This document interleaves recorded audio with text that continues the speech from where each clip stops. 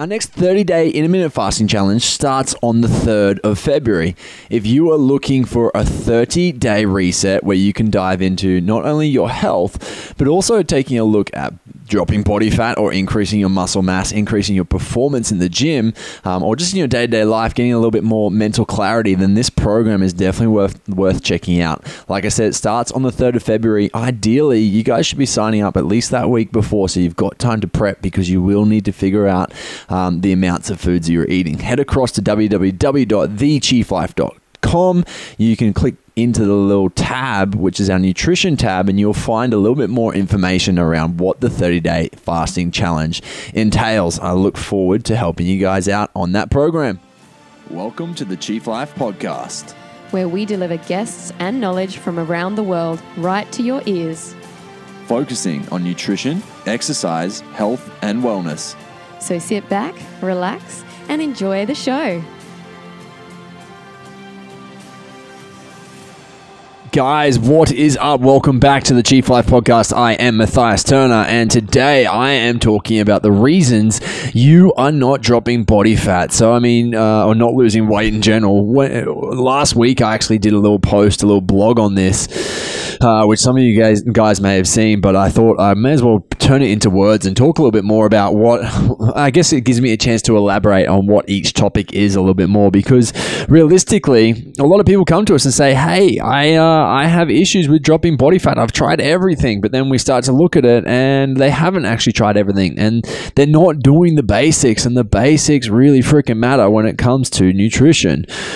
So I'm going to go through these points. I'm going to talk about how it actually said it in the in the blog, as well as I'm going to break it down a little bit more as to my thoughts and my considerations on this. Okay, so you think that you eat healthy. The amount of times we hear people say, Oh, I eat pretty healthy, yet their blood sugar levels are high, their cholesterol is through the roof, or their midline doesn't fit the bill, um, is a fair say, sign to say your idea of healthy is not ideal.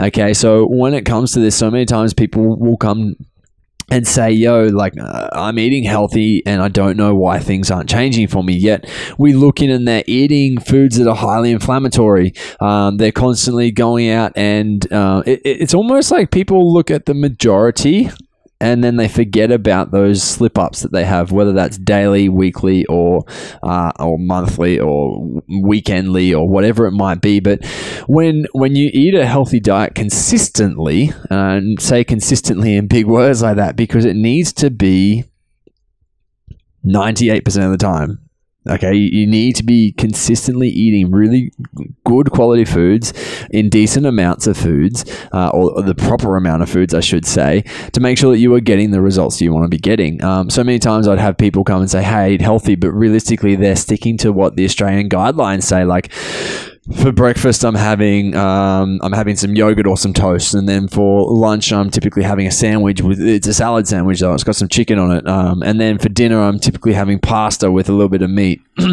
and realistically, that is not a healthy diet. That is not a great way for you and your midline to to be able to progress forward. And um, not many people, some people can eat that way and get away with it, but not many of the population uh, can actually do that. So, the, the you're the people I'm talking to, the people who uh, are looking for other results, yet they continue to eat the foods that are not favorable f- for them. When I talk about foods that cause inflammation, um, this is typically down to like your your wheat, barley, your rye, uh, your dairy products, milk, cheese, um, different even like whey proteins can be a, a big enough effect on some people. Some people respond really well to eating sheep or goat milk varieties instead.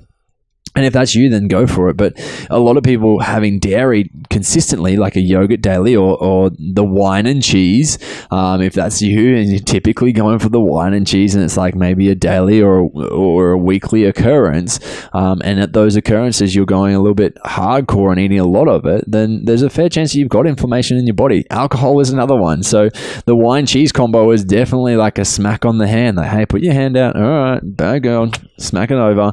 Um, but really, realistically, when we're looking at these foods, the the reasons why I'm saying they're they're bad is the fact that they do cause inflammation within your body. When your body has inflammation in it, you don't have the resources to look into dropping body fat. Okay. Um, and we can talk a little bit more about this, but uh, I did a podcast with Dr. Dan Pompa and he made a really good example of if you're not a fat burner, you're not going to typically burn your own fat stores because your body's going to be too reliant on sugars. So it's going to burn your own muscle stores instead to make more sugar. So w- ideally, we do want to be transitioning you over to being a bit of a, a fat burner when you're eating all these foods that are high in inflammation, high in sugars, un- unfortunately, you're typically going to be a sugar burner. Sugar is another one of those inflammation um, foods, the foods that are going to cause issues. And maybe a small amount of sugar here and there is not going to be a bad thing. But when we're eating high amounts of sugar, and realistically, you need to look in and see what has sugar in your diet. Like, if you're if you're eating a lot of packeted foods, if you're eating a lot of sauces, um, if you're eating drinking a lot of packeted food or, or uh, like soft drinks and things, they these are all going to have high amounts of sugar in them. If you're adding sugar to your coffee, tea and coffee, obviously that is another bout of sugar that you are getting.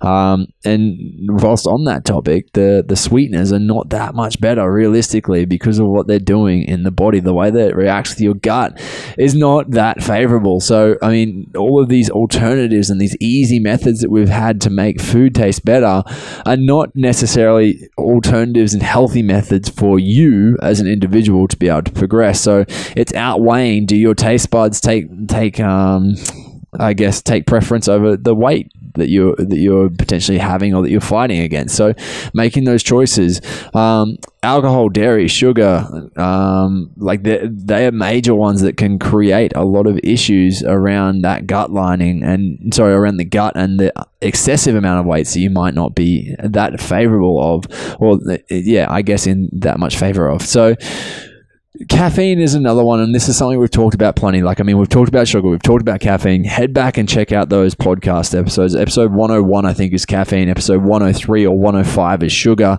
uh, where we kind of dive a little bit deeper into what, what those things do and how they can affect the body. But if you say that you eat healthy um, and you're not willing to change anything, then I wouldn't expect a change from you. So, realistically, we do need to trial new things to see a difference. Uh, whilst I'm on this, people how to best say this. Maybe this isn't the best time for that. I was going to say, uh, uh, talk around, um, let's talk about expectations around what your body looks like and what your body type is. So there's different types of bodies. There's an endomorph, ectomorph, and a mesomorph. Ectomorphs are your ones that are the tall, skinny string beans. Mesomorphs are the people who they can blow out, but realistically they put on muscle easily. And the endomorphs are typically the body shapes they call as like an apple or a pear.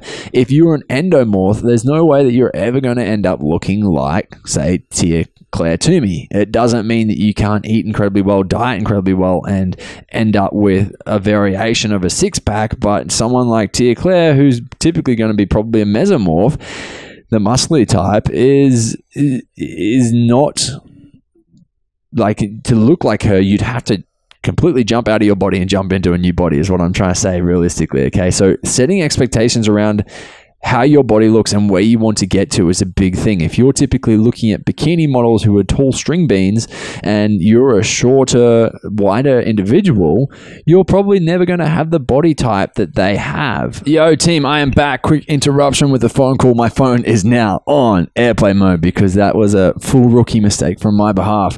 Uh, but that's kind of hit that, that first point home, I think, a little bit. Realistically, it's about setting expectations around your body type. But when you say you eat healthy, it is worthwhile trying out different things because potentially what you're trying is not working for you, especially if you think that you are trying, um, or if you're healthy and you're not changing anything, nothing in your body type is changing. Um, you don't track your food. This is point number two. So we're not saying that you have to track food forever and ever, but you should go through a period of time where you're tracking how much food you're eating via weighing and measuring and or macro counting which requires weighing and measuring. Like you can't just do macro counting and guess it.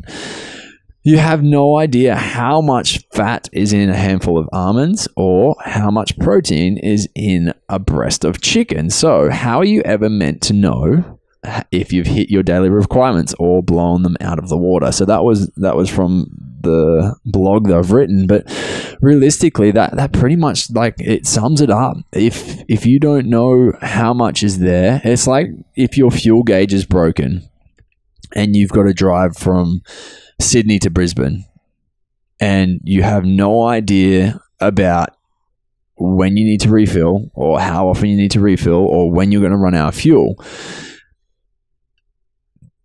Sometimes you might stop and you might fill the car up and you keep filling it and all of a sudden you've overfilled it and we splash out a little bit of extra. That's like extra adipose tissue. Or if you can imagine you had an endless amount of, uh, like every time that you overfilled the every time you overfilled the car, a new jerry can popped up on the side of the car. Then this is what's happening essentially when we're overeating food. when it comes to weighing and measuring, it might not be the most favorable thing for everyone to do, and it might seem a little bit tedious. But if you have a bit more of an understanding as to how much weight goes onto the plate and how much of each different macro goes onto plate, then you start to understand a lot more about what food's value is.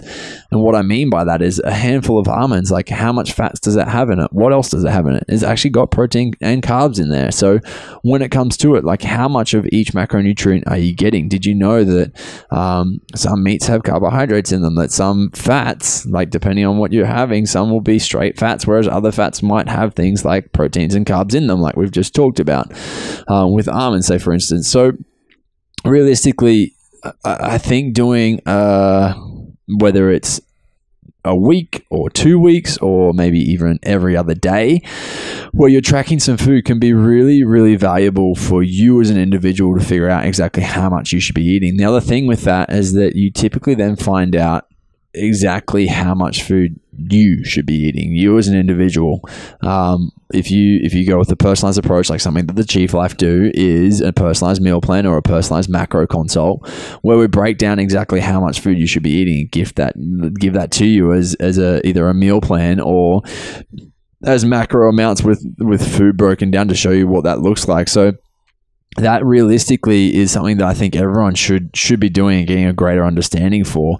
Um, the other good thing is that that starts to give you a greater understanding of when you're having those slip ups. So, say for instance, you're having a wine each night. If you start counting that into your macros, you start to see how much that is valued at. If you're having wine and cheese every weekend, and you actually weigh the cheese as to how much you're having, like that starts to show as to how much calories you're consuming and potentially why you haven't been dropping any body fat or any weight.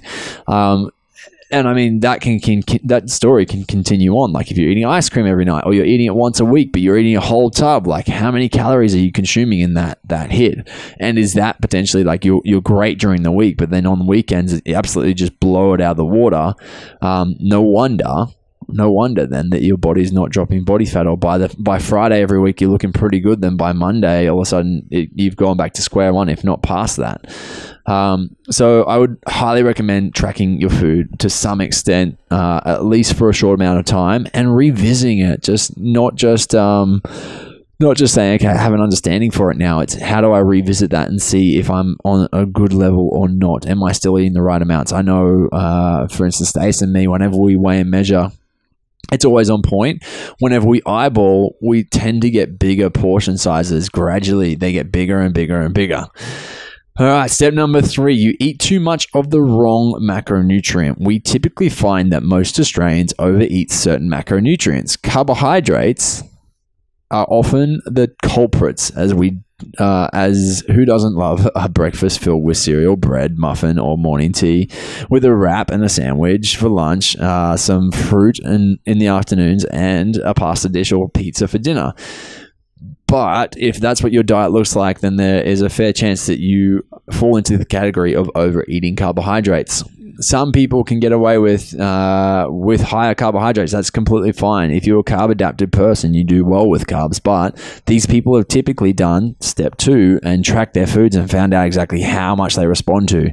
Um, if you're, uh, uh, say, a CrossFitter doing multiple sessions in a day, multiple sessions in a day, then maybe you're going to need a few more carbohydrates than the regular person. If you're an everyday Joe going in for one hour class, maybe once a day, uh, five days a week, then you're typically not going to need as many carbohydrates as someone like Rich Froning or Brent Fikowski or someone like that who is doing a high amount of work. Matt Fraser.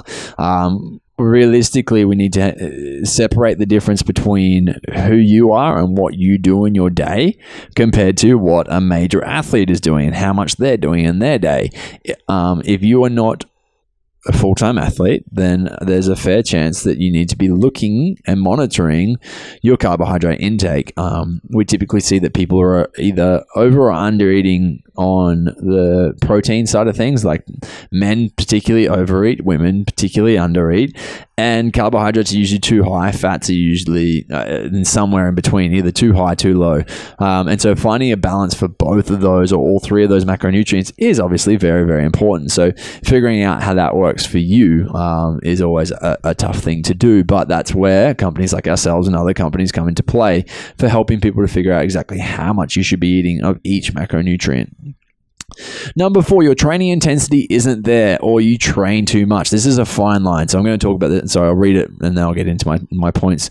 Training is important for muscle growth, but uh, but so is sleep for recovery. You should try to train uh, with the utmost intensity. Get in, uh, sorry, get in, get it done, and get out. Then let your body recover. So, what I'm talking about here is that when we sleep, that's when we actually get our muscle growth, or when we actually recover the body, when we actually get our benefits from being at the gym you obviously have to go through the, the, the, works when you're at the gym. You have to go there, you have to do the things. So many times I'll see people come in and they talk the whole way through their session, or they barely break a sweat when everyone else around them is sweating sweating bullets. Like realistically, it does come down to working hard. Some people come into the gym two or three times a day, and these people are typically over overtraining, under eating, under recovering. If you are training more than like every hour that you train, you need to get an extra hour of sleep in a nighttime. Um, when it comes to, to your food, you need to make sure that you're eating enough to be restoring the muscles, restoring the glycogen, restoring everything that you've utilized within that hour training session. So people who think that they can simply train more and eat less, this is a faulted system. Um, if it means that you are going to the gym in the morning, doing an hour long class, in the afternoon you're doing a 5K run, uh, and then you're doing some crunches or push ups or something before bed as well, and you're only on 1200 calories in that day, like eventually your body is going to fall apart if it hasn't already, or it will hit a plateau and you'll just stop seeing the results.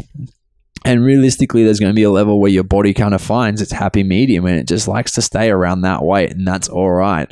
Um, but realistically, we need to, I guess, sorry, we need to be realistic with ourselves about whether we're at that stage or not. Like, if you've hit a plateau, is it because the things that you're doing is actually not not well calculated and it's not going to help you out anymore, or is it?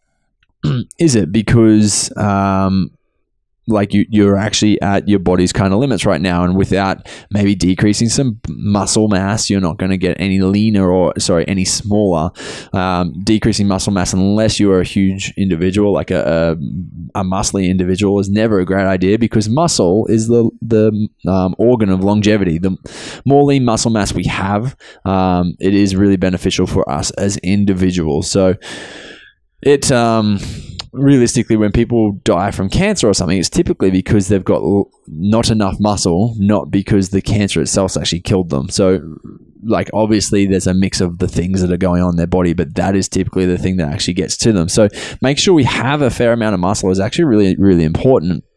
Um, so when it comes to training, I, feel like, and I, I have been a person who has overtrained in the past. I had the the whole concept of really wanting to be a competitive athlete, and I went down that route. And realistically, I did well in that route. But now that I'm training less, but hitting it with maximum intensity, I'm almost fitter I would say I'm probably fitter than what I was back then. The only thing that's down right now is my strength, and that's because I don't focus a heap on strength. Like I do a strength piece a, session, and that's it. Like, uh, sorry, a strength piece five days a week, four days a week pretty much four days a week. Wow. I only do strength four days a week. The rest of it is, is Metcon. So six days of training, two days are pretty much Metcon. Sometimes, occasionally on the Wednesday, I might do some weightlifting. Sometimes on a Saturday, I may chuck in a barbell. Um, but the, the rest of the time is mainly conditioning. And realistically, my strength is not that far off. And I owe it to the intensity that I put in when I'm doing some squats for strength, I make sure that I'm I'm hitting those bad boys either at the percentage that it should be at, or if it's a five RM, I'm really grinding. Like I'm making sure I'm working hard um, with good technique. When it comes to actually hitting the workout, it all comes down to putting absolute absolute intensity into it, so you get the most out of your body. If you get to the end of a workout consistently, thinking I should have done more, then you need to start changing something with probably your mindset when you're in the middle of a training session. Um, if you're able to keep your breath and talk the whole time during your session, then I would definitely say that there is something once again going on with your intensity levels whilst you are training. Number five, you're not sleeping enough. Sleep is key to recovery and how your body functions optim- oh, sorry, and how our body fun- bodies function optimally. If you're not sleeping seven and a half hours a night or more, you're probably not recovering and your body is probably in overdrive. So it can't even begin to focus on utilizing fat. Um, utilizing fat as a fuel is what I mean there. So realistically, with this, if you're not sleeping seven and a half hours a night, you should be getting a nap in. If you're not getting a nap in, then I'm sorry, but your body is probably not going to be um, functioning optimally. There's like a really minimal percentage of people about maybe 0.5% of um, of the population in the world that have a gene that says that they can sleep four hours a night. Probably realistically, that's that's not many of the people that are listening to this podcast, or it'd be like one of the people who are listening to this podcast. Um, I don't actually know what the gene is called, so I can't even follow that up for you. But follow it up meaning with a, an actual stat but realistically you should um you can jump on google i'm sure or you can get your genes done at something like 23andme and then you can send it off to a geneticist someone like dr anthony j who can go through your genes and say hey based on your genes this is um like you should be sleeping this much and when you do training you should be doing this style of training. You're going to respond better to this this and this. Um, those things are, are, quite cool when you're looking at what a geneticist does and uh, or, or what they say but realistically when it comes to it most of us need to be sleeping seven and a half hours a night. Um, if you guys haven't checked it out, we've got a, a pretty pretty pumping YouTube channel. Uh, we've been doing quite a lot of different videos, and something I did recently was a three part sleep series on um, on YouTube. So head across the Chief Life sorry, go to YouTube and just search The Chief Life, and you will find our YouTube channel. It's got a heap of different recipes on there. Realistic. Oh, so recently, what we've been focusing on is um, pretty much different educational videos talking about everything from sleep to stress to ashwagandha and different herbs. Fertility is another one that's coming out soon. So, um, yeah, we, we've kind of been diving down the rabbit hole a little bit there. So that could be very, very worthwhile for you to check out. But the idea of that, and we've also done the podcast on sleep with um with Dr. Michael Breus. They were great as well, and there's so much you can do around your sleep to make your sleep better. Um, if if you have trouble sleeping, then going ahead and following those videos, following what the YouTube channel, or sorry, what those podcasts say, can really transition your lifestyle around quite quickly because sleep is really a way to unlock everything. Number six, you're you're too stressed. and probably putting your body through more stress with supplements like caffeine, with daily exercise, and with your go, go, go lifestyle. Um, stop, breathe, think, and allow yourself time each day to just be with your thoughts and practice some form of meditation. So, uh, realistically, that kind of says it for it. Like, if if you have a highly stressful job, I mean, realistically, the way that the world is now, we uh, there's no no wonder why most individuals are so stressed or so depressed because we have so many things coming at us from so many different angles. The the costs of rent is going up, the costs of living is going up, and that creates issues. Um, which then creates more stressed out individuals. Like our workloads are typically going up because some people are absolute grinders and can get through a whole heap of work, whereas others don't don't function that well with the jobs that they're in. So finding if you're not going to transition your job, it's about figuring out how you can better better get through your day without so much distraction and making sure that you are getting the things done without so much stress being loaded up on top of you. um, stopping and breathing is a massive one. We can up and down regulate your stress based on the way that you breathe. So, if you are constantly mouth breathing, as I am right now as I'm talking, but if you're constantly mouth breathing, what happens is you're typically in a short, shallow breath, which puts you into your fight or flight mode. If you can do longer, deep inhales, in particularly through your nose, you're typically going to activate like your rest and digest, your parasympathetic nervous system. Uh, and that's where we want to be more often. If you can breathe through your nose regularly throughout the day, if we can re- reduce your stress, things like caffeine and exercise are, are so exercise can be a good stress. It, it typically, I'm not going to say remove exercise because it is actually really, really good for you. The benefits outweigh um, the negatives, if any. However, if you're training too much, that's when we need to look at maybe reducing the amount of exercise that you're doing. Caffeine is a stressor. If you're a highly stressed individual and you're in, you're in, intaking more caffeine, um, then realistically you're just adding more stress to your body. So it's a stressor that we can control by removing the amount of caffeine that we're having. Okay, swapping that out for a decaffeinated version, all of a sudden you're still getting a similar response or the similar um, habitual factor just you're not getting the stress that comes with it. So, um, yeah, trying to reduce your stress as best possible. Bringing in some form of meditation each day can be a really good way to reduce stress. So, it just kind of helps you with, um, I guess, piecing together the things in your mind a little bit easier or being okay with noise and figuring out how to focus on the things you need to focus on the most.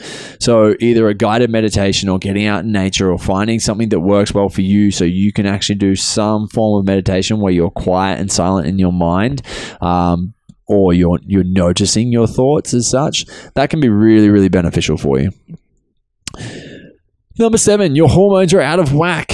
Years of unfavorable amounts of stress, unfavorable amount of eating can lead to dysfunction in the body. This can be reversed without medicine. It does take action, but everything in life that is worthwhile does take action. So, what I'm talking about here is that the more stress we get, um, the more cortisol we have, the more cortisol we have in the body, the more things can start to get messed up. Pretty much with males, the more our cortisol goes up, the the more our testosterone drops, which is kind of crazy. But if your um, sexual hormones are out of whack, then probably more than likely a lot of your hormones are going to be out of whack. But when it comes to it, we do really need to look into what's going on on a deeper level. And if you literally have tried everything, you've tried dieting, you've tried uh, like you're sleeping optimally, you're, you're you're really looking into your lifestyle, and you're doing everything the way that you should be doing, then it's a good chance that we need to look at your hormones and actually test out what's going on through either a, a saliva test or a, or a, blood test.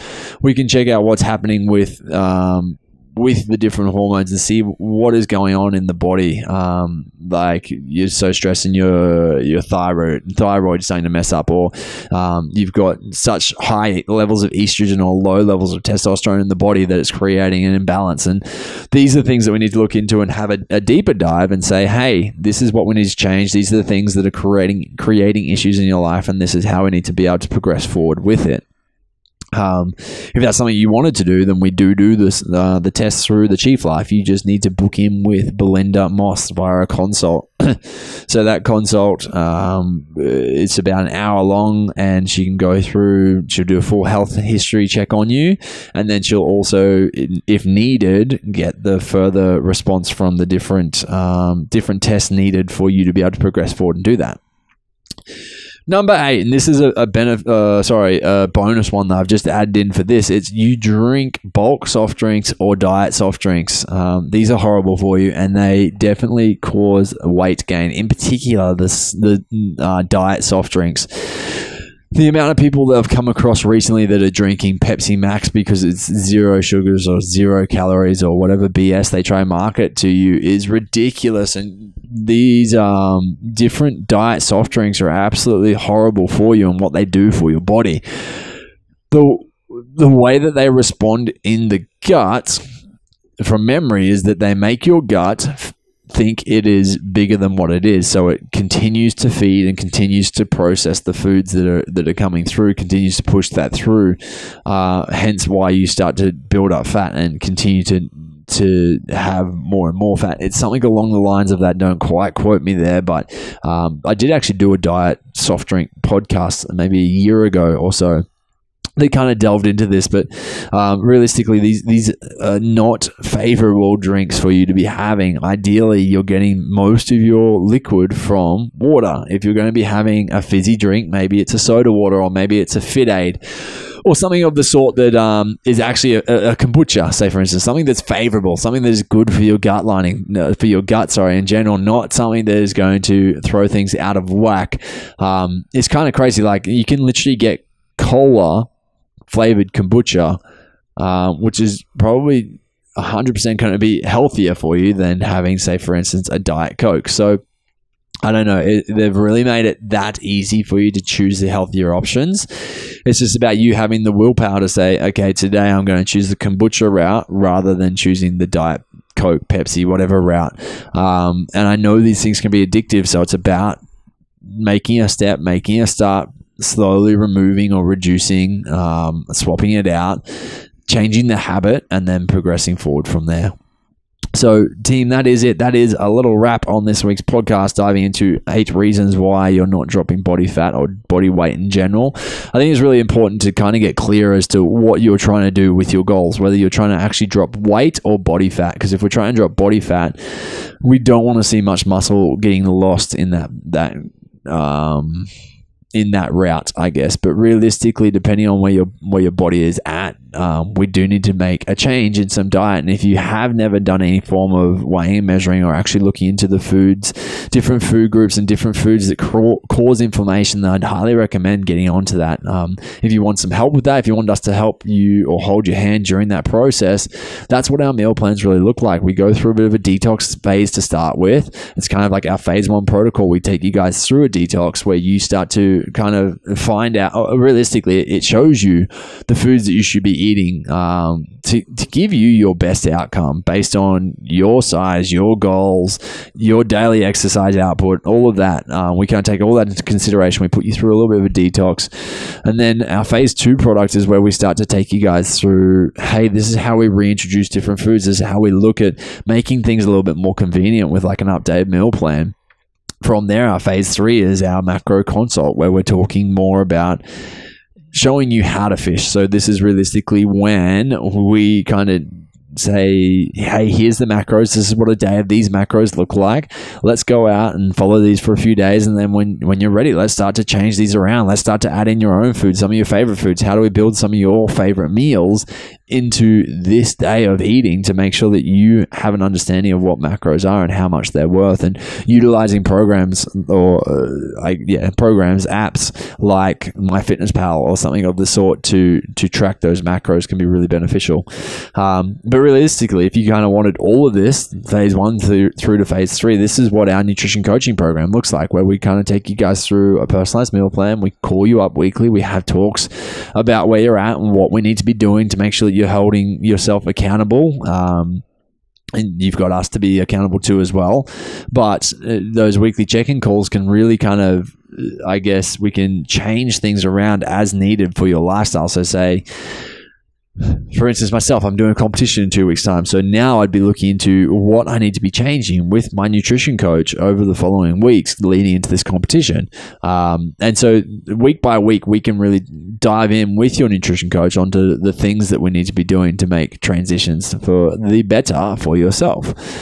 Um, but yeah, team, that's it from me if you have any questions, please reach out to me, Matty at thechieflife.com. Uh, I'd love to kind of hear some feedback, actually. If you guys, uh, whatever platform you're listening to us on, I would love to hear uh, maybe what your favorite podcast has been recently, or if that's not something you want to answer, hit me up and tell me what you'd like to hear more of. Um, but yeah, that's it from me today, guys. Peace out. I hope you're having a fantastic day whenever you are listening to this. Um, and other than that, eat healthy, stay clean, love life, and uh, go live a little. Visit thechieflife.com for all of your nutrition coaching needs, your own personalized meal plan, as well as how you can get involved with one of our seven pillar retreats.